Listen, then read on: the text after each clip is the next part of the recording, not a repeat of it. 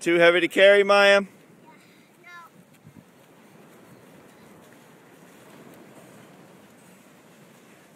Good job, honey.